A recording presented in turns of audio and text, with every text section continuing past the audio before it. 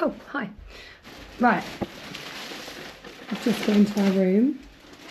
How pretty. Your own little courtyard. Outdoor area. Which, if it wasn't pouring with rain, we'd be sitting out there with a glass of champagne or Prosecco, right? Or rosé. right now. And then there's a restaurant right here, which we're actually going to change our booking tonight to this one because how handy it's literally just there. And they're growing all the vegetables and stuff all around it. So cool. And then this is our lounge area. Very nice. This is where all the goodies are.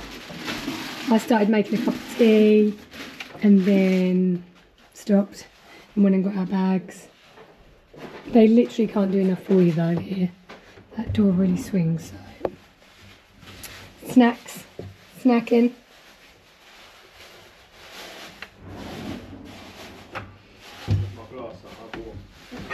Oh yeah. I mean, it's full of bits and pieces. I'm just going to shut that one off.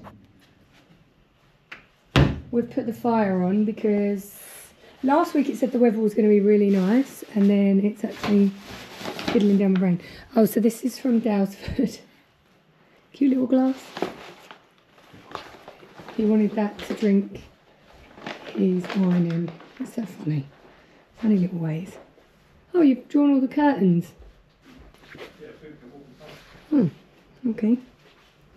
Bathroom. Shower. Toilet. See, oh, I like this. I could have this as my kitchen top. Yeah, there's probably actual marble though, isn't it? I think it has to be treated marble. Well, it does. I know it does. So this is our get up.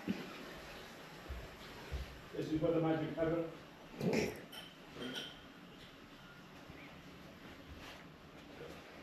I mean, I could easily have an after party in here.